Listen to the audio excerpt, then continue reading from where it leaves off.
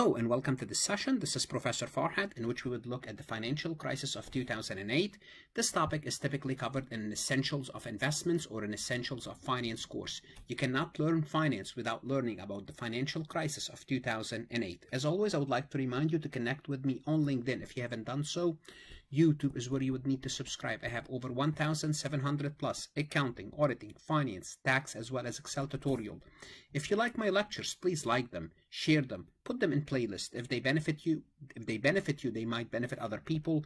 Connect with me on Instagram. On my website, farhatlectures.com, you will find additional resources if you're trying to supplement your accounting education and or study for your CPA or CFA exam. So it's very important to look from a historical point of view, how does the housing market work in the US? So back in the old days of the US of A, if you wanted to buy a house, you would go to your neighborhood bank or credit union and you would lend money and the home will be used as a collateral. Simply put, your local bank will hold your home as a long-term asset against that loan. So they will have a portfolio of homes and they will give you the money and they will hold the loan for 30 years. So basically the concept was they originate, you originate and you hold. It was really a boring business with limited capacity. What do I mean by limited capacity? Well, the bank, let's assume the bank will have a collateral of 5 million. They can only lend you money of 5 million. That's all what they have. So at some point, the bank might run out of capacity because that's all what they have. And the, the other idea was it's your local bank. Whoever lending you money, and whoever you're borrowing from, you're to see them. They're part of your community. That's that's important. They're to look you in the eye. And you're to see why this concept is important when we talk about the new system. So back then, in some states, for example, they had rules where the bank can only lend around 50 miles, 50, they can only lend people in their 50 mile radius because they want to, they want to know their community and their community wanted to know them. Now in the, in, in the 70s, what happened is we started to introduce a new concept two new companies entered the entered this industry. Fannie Mae, which is the Federal National Mortgage Association, and Freddie Mac, the Federal Home Loan Mortgage Corporation. What did they started to do? They started to buy large quantity of mortgage loan from originators and bundling them into pools that could be traded like any other financial asset. So rather than the bank originate and hold the loan, here comes these two corporations, they will take the loan off your hand and they will give you money where you can go back and lend that money again to more homeowners. So that's the idea.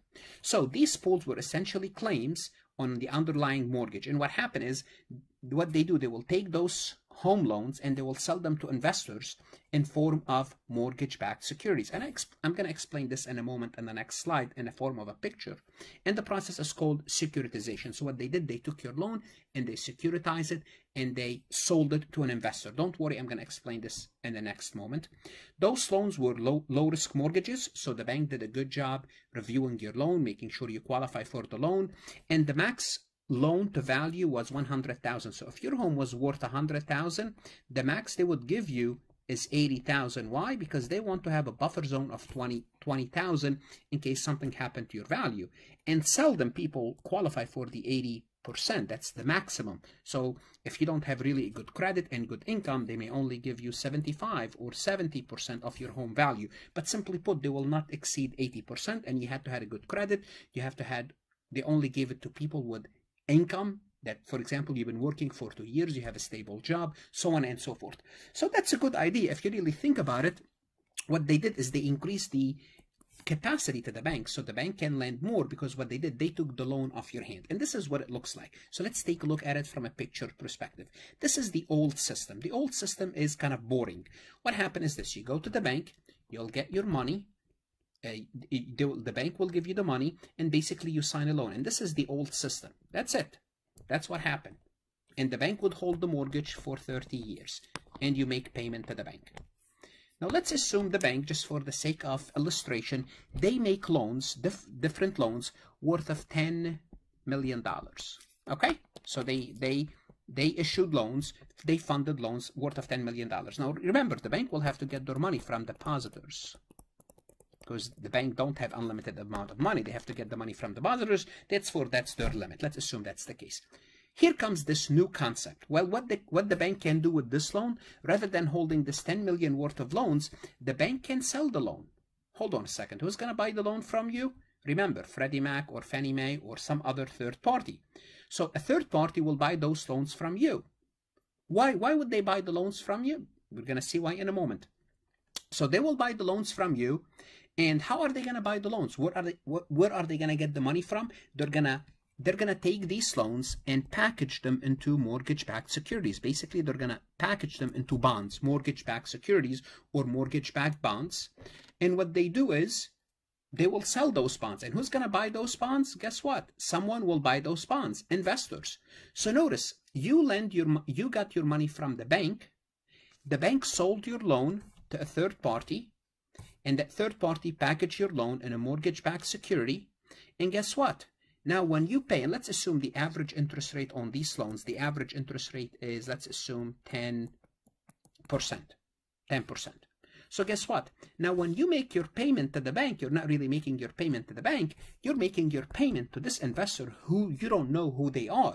Basically, all what those investors did, somehow they have a piece of paper saying they have a claim on your home, although you never you, you don't know who they are. They could be in germany they could be in france and a lot of investors were actually deutsche bank which is a german bank but a lot of of our mortgage backed crap securities. But the point is you you're not dealing with your your original originator. So what happened is the risk is simply transferred from the bank to some investor so, to some investor who bought the bond.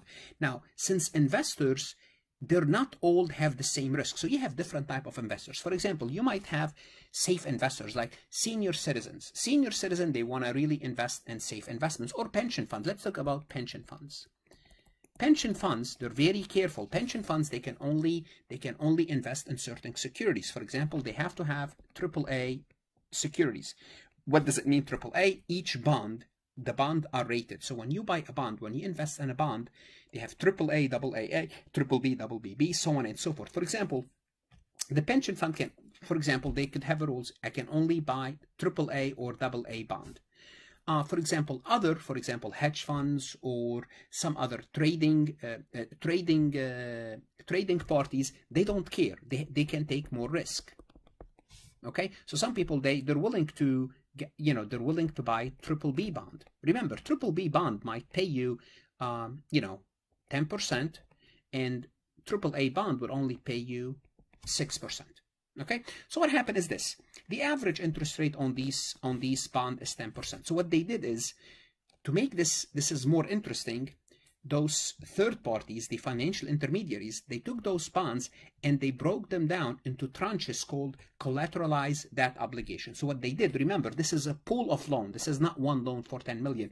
Some of the loans were at 12%, some of the loans were at 8% of different risks, so on and so forth.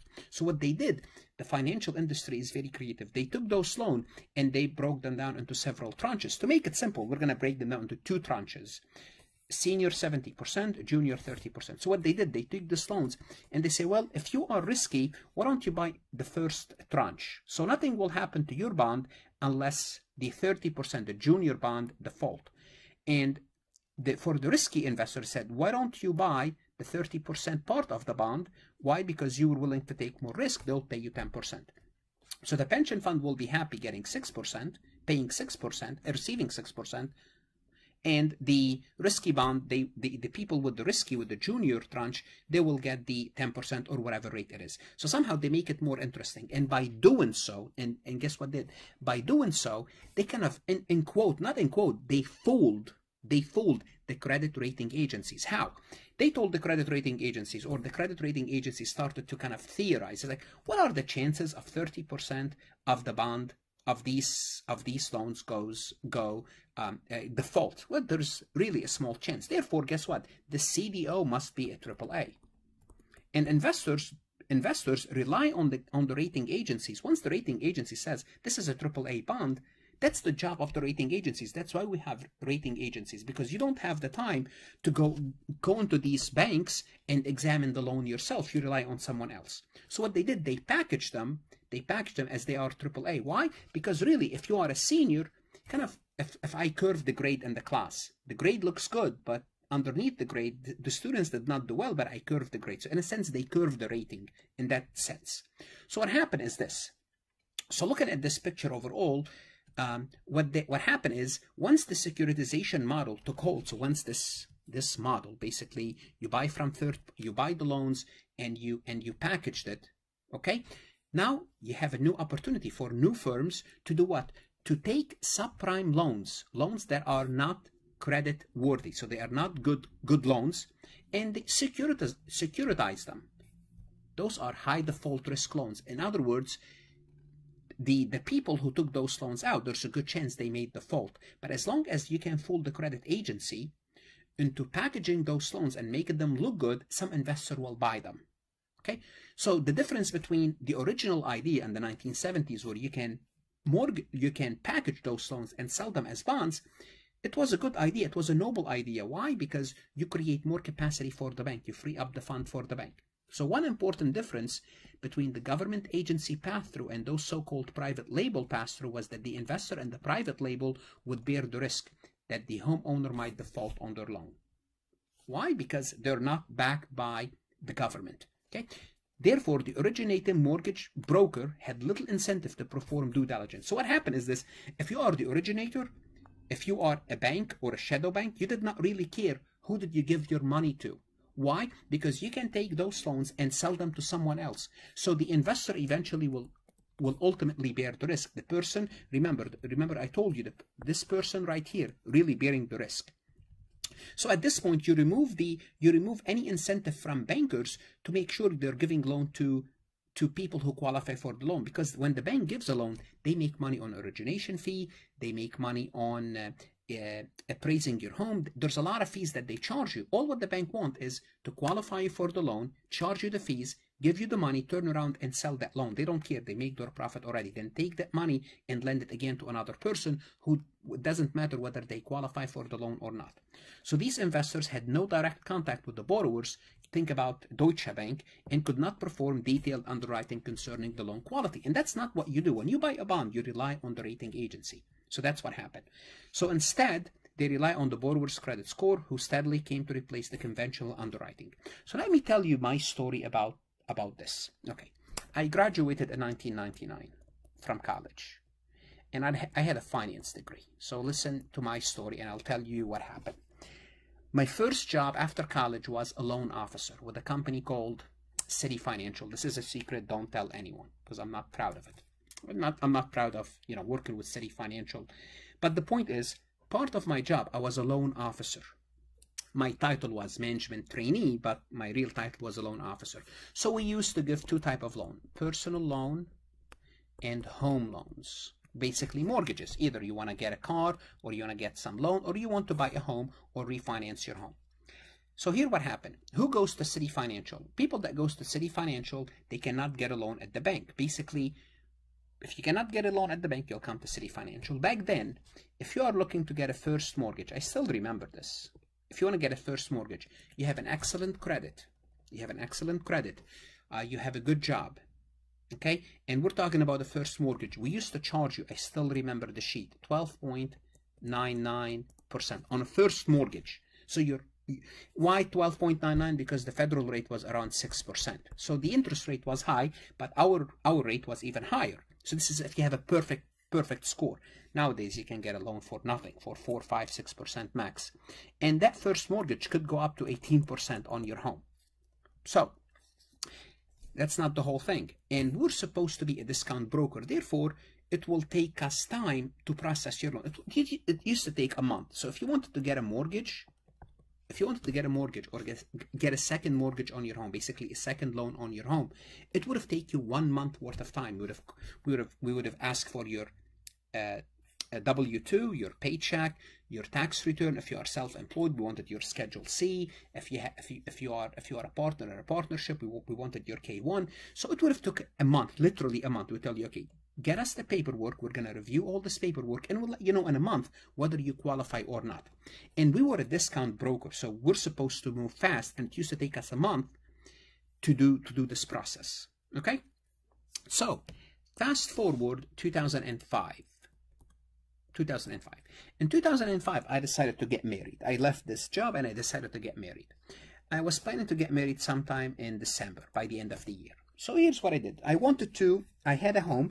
I wanted to take some money out of my home. So I wanted to borrow some money from my home to fix my home because I'm getting married. So what I did, I said, okay, like mid-September or late September, I still remember. So we're talking September. So I said, you know what? Since it's going to take a month or so to get money from my house, let me go in now and just in case I had some paperwork and start the process in September. So I'm thinking by the end of November, I will have the money. I will have a month to fix the home, upgrade. I remember I wanted to up upgrade the windows, do some major changes. By the time I'm married, the home is fixed. So I still remember sometime in September, I don't remember the date, I walked into Wells Fargo. The bank is Wells Fargo. It's a traditional bank. This is what I bank with. So I went in. I remember I went in because I was coming from work. I almost made it. It was around five o'clock. So I catch the person that's still there. Said, "Would you mind helping me?" I remember the lady said, "Okay, what do you need?" I said, "I'm looking to get you know to get money out of my house. I have some." I have some equity in my house, and I remember I'm just I, give you the value. It doesn't matter. Uh, I was looking to get around twenty thousand dollar from my house. I had an equity worth of 20,000. So she said, okay. So I gave her my license. She had my account information. And she's like, okay. She asked me how much. I said, well, around 20,000. I was not hoping to get 20,000. I said, if I get 20,000, I'm going to ask for 20,000. And I told her, all what I'm asking today is what type of paperwork do you need so we can start the process. She said, okay, no problem.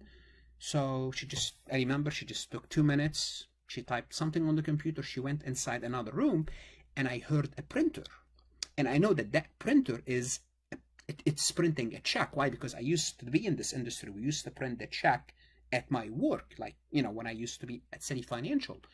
So like two minutes later, the lady came out with a check, with an actual check of, of $20,000. And she handed to me. She's like, that's your check. I was like, hold on a second. You didn't even, you didn't even ask for my W-2. You didn't ask for my tax return. I'm, I'm, I did not tell her that. I was like, is this a real check? Or is that kind of like, you know, those like ad checks where, you know, come back later and, you know, we say, no, that's your actual check. If you want to deposit this check today, you will have an additional 20,000 in your bank account. So the point is, by 2005, 2000, it started around 2002, 2003. Now, no one knows, everybody, the Republican blamed the Democrat and the Democrat blamed the Republican, that they asked the banks to lower the standard for borrowing. Okay, in other words, make it easy for people to get a loan. And this is why I get a second mortgage in like in, in two and literally in like five minutes. I walked out of the bank with twenty thousand. I thought it's gonna take me a month and ever and I asked her, I was like, could you tell me how did you came to the conclusion that I had how did you trust like I had twenty thousand in my account? She said, Oh, I went online and I saw when we just did what's called a comp appraisal comparison appraisal and we find out that the homes that were sold next to your home were at the same value and we based it on that. So it was real easy. Back then you, when i was at work you had to have an appraisal. We had to have to someone schedule someone. It will take 10 days to schedule someone to go to look at your house. So the point is in 2001 2002 all those strict standards, they were going down. And as a result, we had more what's called subprime loans. It's not only subprime loans, we had all sorts of crazy loan, loans that are called low documentation, where you did not need any documentation for the loan, no documentation or low documentation, so they did not they did not have to verify anything. For example, I believe I was credit worthy because I have a good credit. They had high loan to value. They started to give you 100% of your home value. So if your home is worth 100,000, they would give you up to 100,000. So they will give you up to 100% of your home. And for example, CitiFinancial, where I used to work, they would give one they used to give when i was when i was working there they used to give 100 110 percent so they would give you more money for your value but you'll have to pay high interest rate and there's the ninja loan ninja no income um, no no income no job application would give you a loan even you have no income or no job then they have what's called adjustable rate mortgage and those adjustable rate mortgage the the uh, they were known by ARM, ARM loan. ARM loan, basically what they do is they would, uh, you would start at 2%, then your your interest rate will go up to, you know, it would reset in in two in three years at 8% plus the treasury the, the, the, treasury bill rate so it'll be around 10% so you'll start at 2% but your your uh, and your payment because of 2% your payment is low then suddenly in two years your payment will be will get higher. And this is really what really collapsed everything, those adjustable rate mortgage. And what happened is this.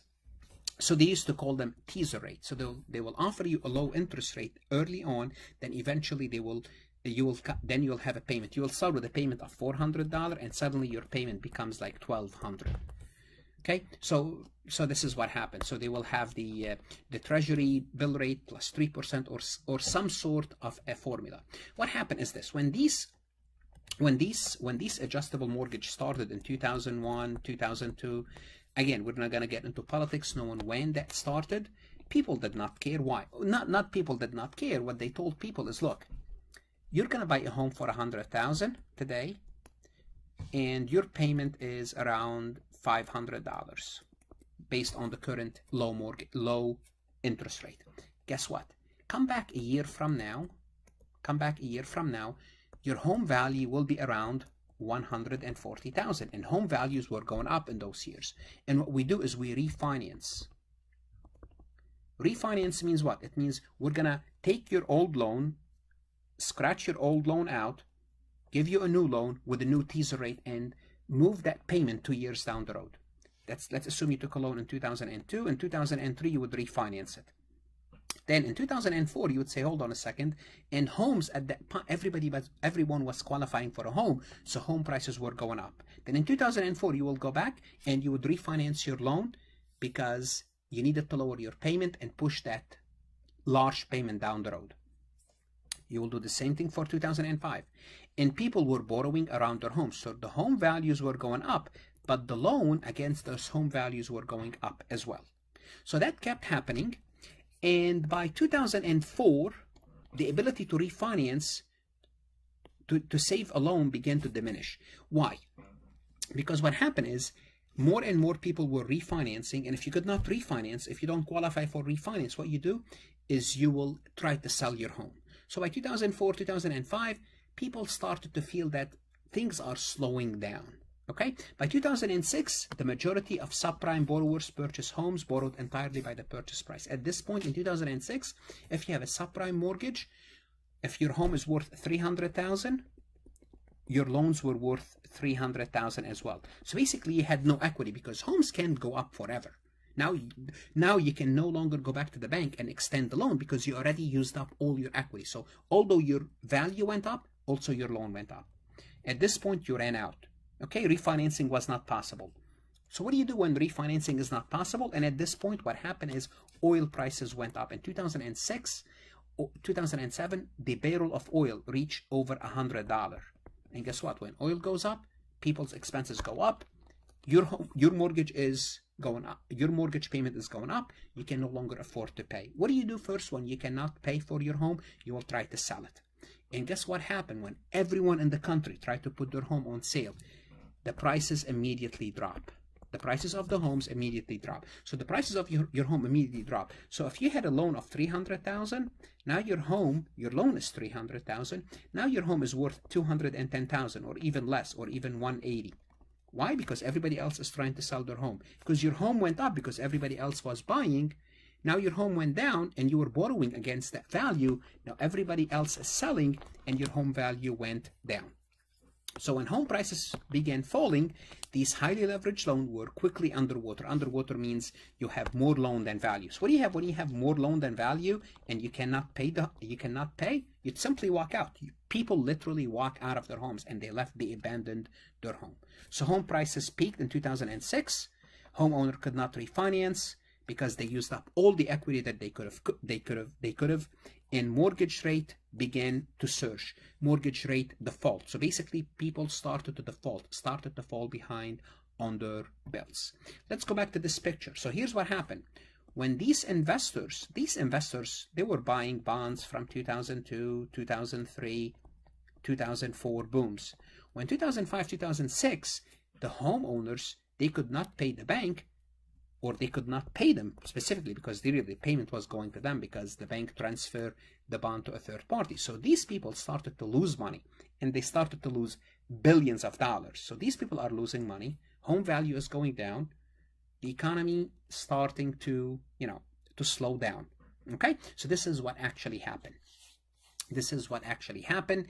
And as a result, a lot of third party intermediaries, what they did is they had those mortgage backed securities They were not really. It's like they drank their own poison. So if you, if you created those mortgage-backed securities and you cannot sell them, it's a toxic asset. They become toxic asset on their books. So it's not like they were trying to fool people. They believe the system is working because investors were eating those bonds up. Somebody was buying them. But when nobody was buying them, then you have those investments on your books and they're shitty investment because you thought the homeowners are going to pay the, to make the payment, but the homeowners are no longer making the payment. So part of the problem is because the question is why were people buying those risky subprime mortgage? The reason is because they relied on Fitch, S&P, and Moody's. Those are the credit rating agencies. So securitization, the way they restructured those loans, the way they make them look good, people were buying them. Okay, so what they did, they have a new risk-shifting tools enable investment banks to carve out AAA rated securities from original junk loans. You remember those tranches that they did? They make it look good. They make it look relatively good, relatively safe, and they stamped on it AAA. Now we're going to see there's another reason why they did it, but we're going to talk about this. So CDOs were among the most important and eventually damaging of these innovations. So when they did those CDOs with the tranches, they make it look good. They make the bond look good. So CDO were designed to concentrate the credit risk of a bundled loan on one class of investors. So what they did is, although they had you had crappy loans within the within the within the package, they only looked at the good loans. Okay, so leaving other investors in the pool not protected from that risk. Okay, so the idea was to prioritize the claim repayment by dividing the pool into senior versus junior slices called tranches, as I showed you. So the senior tranches had first claim on the repayment. So if you're a senior tranche, you got your money first. If you're a junior tranche, you kind of your secondary, but you earn higher interest rate. But overall, the bond is AAA because we had some AAA loans in there. Also, so why would the credit agencies dramatically underestimate the credit risk? So, so did they do it on purpose? Did they do it, you know, because they did not understand the risk? One reason is default probabilities had been estimated using historical data from unrepresentative period characterized by housing boom and uncommonly prosperous economy. So they were comparing the 90s default rate to the 2000 and the two were not comparable. And we're going to see this. So the rating agencies extrapolated historical default experience to a new sort of borrower pool, one without down payment. And they were comparing the old loan underwriting where you had to have a down payment of 20%. And that's the other thing. The new loans, you did not have a down payment. Usually the loan, you have to have a, put a down payment down. The new loans, those fancy loan, you did not even have to put down payment. So you'll walk in, you'll buy your home without no down payment, low interest rate, no income, no job verification, nothing. So we're comparing those loans to people that put down that, that put down payment, they had documents, they had income, comparing apples to oranges. So they came up with that conclusion by comparing traditional underwriting to the new underwriting rules. And past default experience was largely irrelevant given these profound, profound changes in the market. So they did not take into account the new underwriting rules. Also, there was excessive optimism about the power of cross-regional diversification to minimize risk. So what they did is, and that's another thing that the third parties did, to fool the credit agencies, what they did, they they bundle loans from different from different geographical area For example, they took five homes from New York, five homes from California, five homes from from Chicago, and they told the credit agencies, look, those homes are in different geographical area. Therefore, we are diversifying the bond. Therefore, it should be triple A bond or double A bond. And the credit agencies went for it. Why? Because they wanted the fees. The credit agencies, some people think they did it for the fees. So that's another reason why they did it. And that's why it's a bit unethical to say the least. Also, what came into what came into the picture later on in this in, in this debacle is something called the credit default swaps or CDC. What is the CDC? It's in essence an insurance contract against the default of one or more borrowers. What happened is to make this looks more interesting, they said, okay, you buy this bond, we can sell you what's called credit default swaps. In case something happened to that bond, you collect your money. So it's like an insurance. The purchaser of the swap pays an annual premium, like an insurance premium, for the protection from the credit risk. So this is if you have the bond and you want to protect yourself, you can do it. But I'm going to tell you what's going to what happened with this credit default swaps. So the credit default swaps became an alternative method of credit enhancement. So to make the bond looks good, you said, well, I don't have to worry about this. I can even buy insurance against it. So it allow investors to buy subprime loans and insure their investments if they want to. But this is not what really happened. This is what this is not what really happened. So some swap insurers ramp up their exposure to credit risk to unsupportable level without sufficient capital to back those obligations. The first thing that happened is some companies went crazy of selling insurance. And what happened when you sell? When you sell insurance. When you sell insurance, you are responsible for making the payment on this insurance. So that's an issue. That's a problem. Why? Because if things go bad, you have to make payment. Let's assume you insure 2,000 cars. Well, it's good. They're going to pay you premium because you insured 2,000 cars or you insured 5,000 cars. But if 500 of these cars went into accident all at once, you're going to be in trouble. Okay, that's not what you do. You insure 2,000 car, you would think maybe 20 cars will get into an accident. But if 500 go into an accident, then you'll be then it'll become a big trouble. And what happened with those credit default swaps, and this is very, very interesting, and this is where this movie or the, the big short comes into place. Few individuals, and I suggest you watch the movie, what they did is they purchased those credit default swaps. So these people did not own the bond. So what they did is they told bankers, they told people like AIG, okay, large insurance company like AIG, sold more than 400 billion of CDS contract on subprime mortgages. So what they did is they sold the insurance, and these guys purchased the insurance without having the bond. So all what they said is it's like buying, buying um, an insurance on your neighbor's home. So if your neighbor's home go on fire, you collect. So these guys, they said, you know what? This subprime, it's gonna collapse Let's benefit from this and let's buy those CDS. That's what they did. They bought the CDSs. And when the whole system collapsed, these guys collected a lot of money. I strongly suggest you either watch The Big Short or you read the book. I read the book and I watched it. I read the book several times. I watched the movie, you know, four or five times already, if not 10 times. Okay, so that's what I suggest you do. So if you're interested, start with The Big Short. So also by 2007, the financial system as a whole, the banking system, were starting to show several troubling features. Many large, many large banks and quasi banks and financial institutions, they call they call them shadow banking. They were apparently what they were doing is financing their short-term borrowing, financing with short-term borrowing, their long-term illiquid assets. Simply put, when you borrow money, if you borrow money for short-term versus long-term, when you borrow money for short-term, your interest rate is lower. When you borrow money for long term, your, in, your interest rate is higher because whoever is lending you the money, they have to wait longer. Longer means more risk. To compensate the risk, they have to charge you higher interest rate. So banks were, were, were relying on short term on short-term borrowings. So what does that mean? If you're relying on short-term borrowing, you have to constantly refinance. So you have to go back and uh, turn over your loan because it's short term and you have to get a new loan. So what happens if interest rate goes up? Well, you're in trouble because you have to refinance at this higher rate. Or else you have to sell your assets, whatever assets you have, and maybe your assets went down in value. Now you have to sell them in a financial stress situation, which their prices will go down. So these institutions also were highly leveraged. So the banking system at that time, highly leveraged means they were relying on that with little buffer. They had a little bit reserve for for capital for losses because they did not think they're going to suffer those large losses that were they, that came up.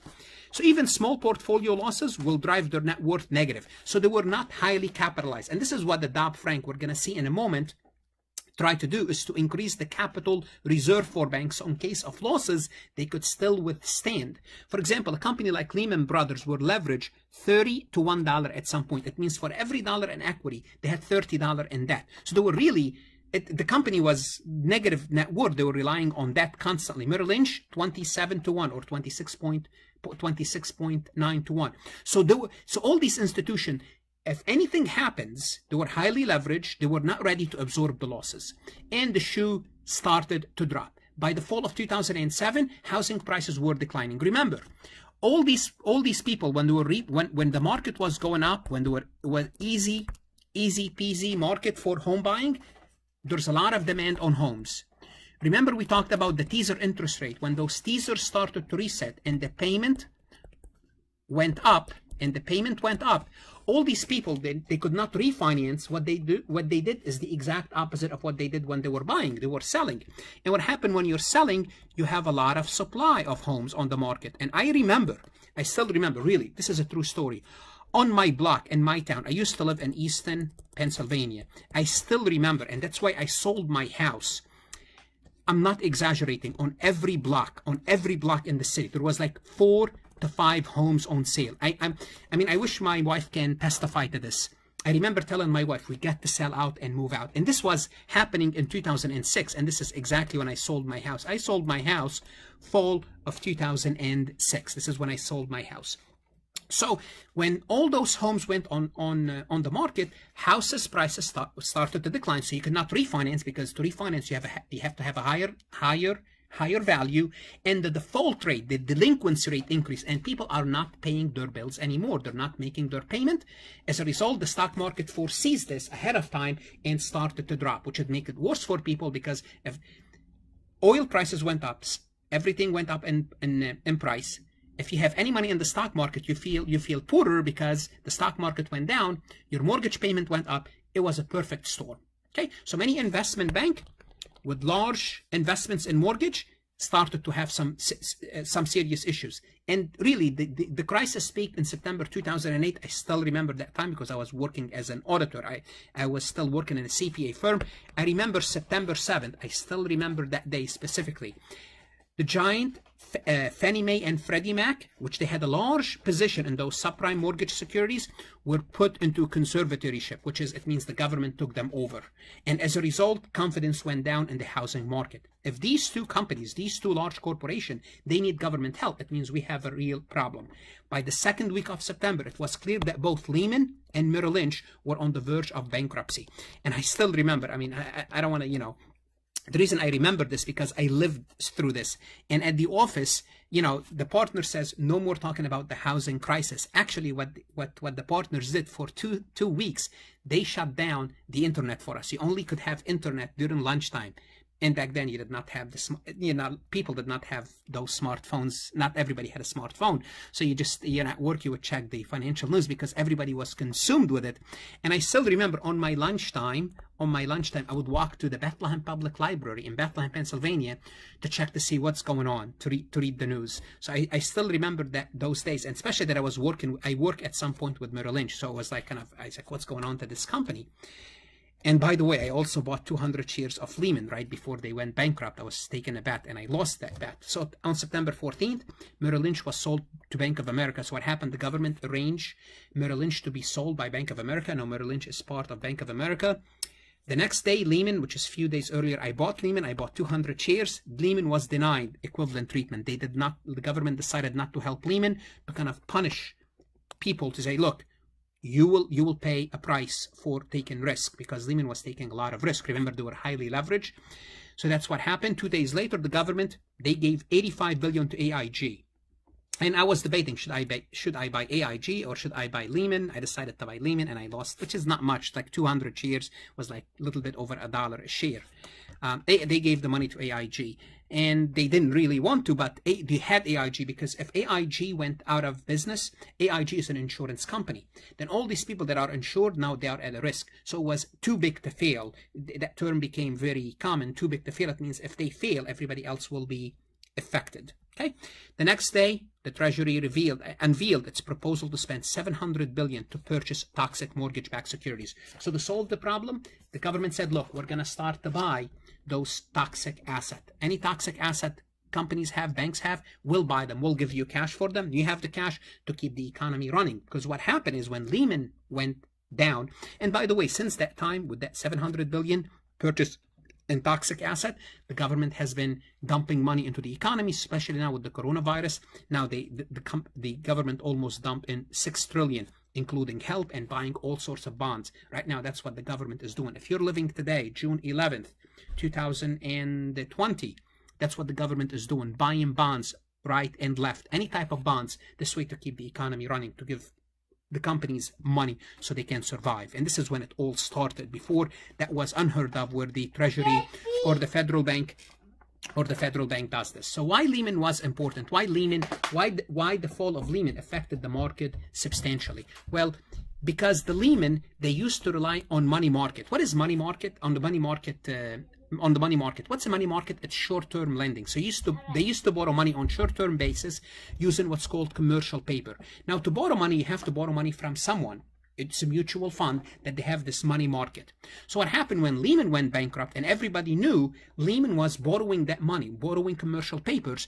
Now everybody was careful because they didn't want to give any money to those mutual funds because they know which they did not know which mutual fund gave money to Lehman. So if you gave money to Lehman, you lost your money. And if you gave money to Lehman, I'm not going to put my money with you because you lost a lot of money. You're going to lose my money. Therefore, what happened, that short-term lending froze because now everybody doesn't trust everybody. That's why the government intervened, said, I will, don't worry, lend each other and I will guarantee the loans. So this is what happened. But back then, you know, when, when that happened, it froze the market. When Lehman faltered, fear spread that these funds were exposed to losses on their large investments. And the money market fund customer across the country rushed to withdraw their funds. So if you had money in the money market, you went and you told your mutual fund, I want my money back because I don't know what your exposure to Lehman, I don't know what's your exposure to someone other than Lehman for that matter.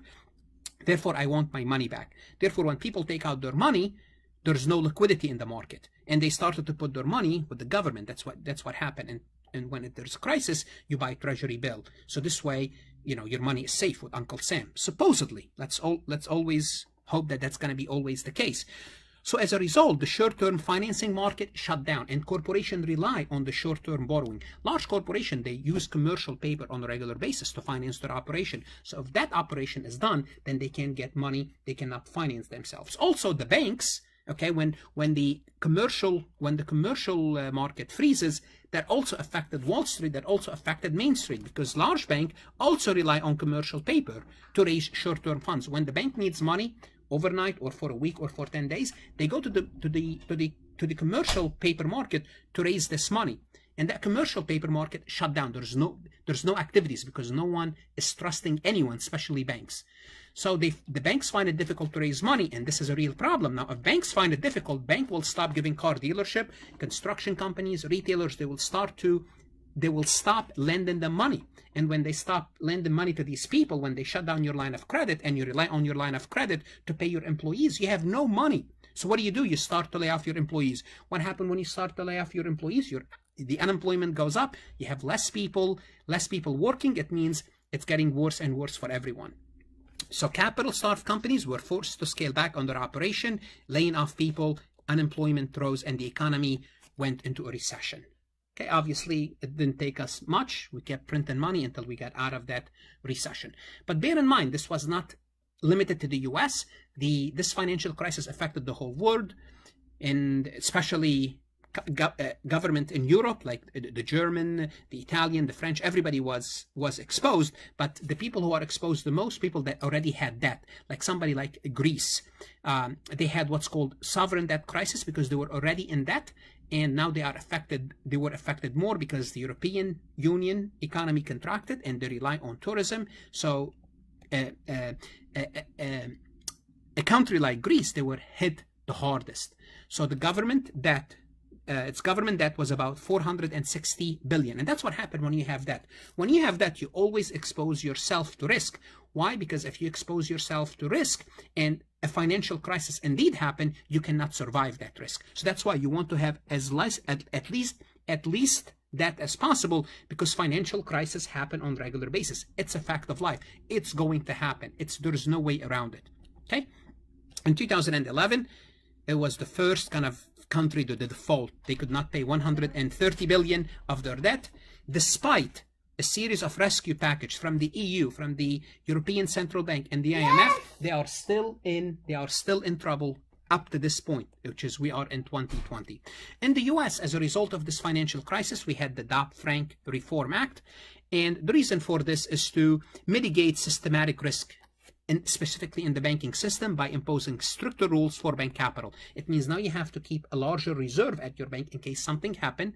You have to have more liquidity, more cash, and you have to manage your risk, especially as banks became larger and their potential failure would more threaten other institutions because the way the banking system work, all the banks are interconnected. So if one bank fails, you'll have a domino effect because banks borrow from each other overnight. So if I lend you money, Okay, and tomorrow, uh, and tomorrow you failed, I can't get my money back. Then I also borrowed money from someone else. I cannot give that give them back the money. So there's always a domino effect. So that's why they want to make sure it's to reduce containment. So they want to they want to make sure banks have plenty of capital and they can withstand any stressful situation. In addition, when banks has more capital, they have less intensive to ramp up risk. So if you have capital, then what happens is you take less risk because even if you take the risk, you are going to absorb the risk. You are going to absorb the losses because you have the capital. So you have to be very careful. Then you are not incentivized to take risk because the FDIC will not help you. You have to pay for your own risk. So basically, they attempt to limit the risk activities in which banks do engage. And specifically, they have this new rule called the Volcker rule, named after the former chairman of the Federal Reserve, Paul Volcker, limits the bank ability to trade for its own account and to own or invest in hedge funds or private equity fund, which is riskier investment. So this is the Dodd-Frank. Also, the Dodd-Frank looked at the credit rating agencies. You remember the credit rating agencies stamping everyone with AAA bond, so the bonds would sell. They created an, an office to oversee this, Office of the Credit Rating Agencies, so the incentive of the bond rating were also a sore point. A lot of people were complaining that part of the problem is the credit rating agencies. It wasn't only the credit rating agencies, it was banks, originator, credit rating agencies, accountant, we were responsible, auditors were responsible, consultant, everyone was complicit in this because nobody raised a red flag. Nobody said anything because everybody was benefiting, especially the rating agencies that were selling. Literally, investigation shows investigation showed later that they were technically in quote selling those AAA. So if you don't give me AAA, Fitch doesn't give you AAA, you go to S&P. If S&P doesn't give it to you, you go to Moody's. And they know, those are the three main ones. They know if I don't give them AAA, they're going to go somewhere else. So that's why that put an incentive pressure on them. Okay. If you are happy with the system that the rating agencies paid by the firm that they rate, that's still a problem because what's the alternative? The alternative is every time you need to buy an investment, you have to find your own rating. Those agencies, they rate everything for you, but they, they are paid by the, by the companies that rates them. So there's a conflict of interest, but we have to live with that. The Act create an office of credit rating within the Securities and Exchange Commission to oversee this credit rating agencies. And if you are still listening, go toward the end. This is my house. This is the house that I sold right before the financial crisis happened. And guess what? All the profit that I took out of this house, I put it in the stock market and the stock market tank. So, so although I made money, I used to live in this apartment. I used to rent this place. So this was one unit. This is unit one. This is unit two. I used to rent this unit and I lived in this one and it paid for itself. I got out of it I took the profit, put it in the stock market, didn't do very well because the stock market tanked. Anyhow, as always, I would like to remind you to like this recording, share it, put it in playlist. If you are an accounting or finance students, please check out my website for additional resources. If we are still living through this coronavirus, make sure to stay safe. Good luck. Study hard, whether you're studying for your CPA or CFA.